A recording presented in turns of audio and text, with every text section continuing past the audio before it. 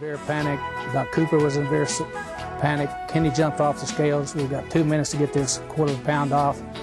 Cooper and I are conversing on what to do. We look over and Kenny's still in his birthday suit. He was a Soviet, and uh, he was a world champion in 87. He beat Dave in the world championship.